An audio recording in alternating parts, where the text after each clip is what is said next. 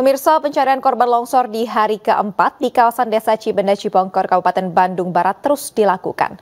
Tim SAR kembali menemukan dua korban. Korban diduga merupakan ibu dan juga anak yang ditemukan sedang berpelukan.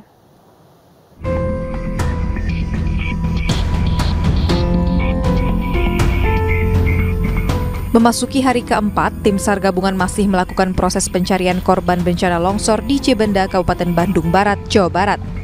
Di hari keempat ini, tim SAR kembali menemukan korban yang tertimbun di titik pencarian A.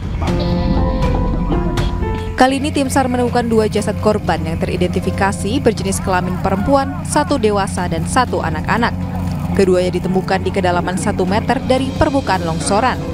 Kedua jasad korban ditemukan sedang berpelukan diduga keduanya merupakan ibu dan anak.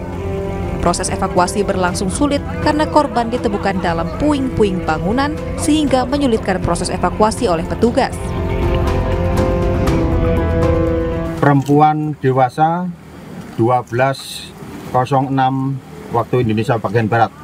Artinya target pelaksanaan operasi SAR kita tinggal tiga korban lagi yang akan kita laksanakan pencarian. Tadi yang dua terakhir agak lama itu kenapa? Tentunya posisi agak dalam kurang lebih 2 meter dari permukaan longsor itu. Kini total tujuh korban yang telah ditemukan, proses pencarian terus dilakukan pada titik yang sama.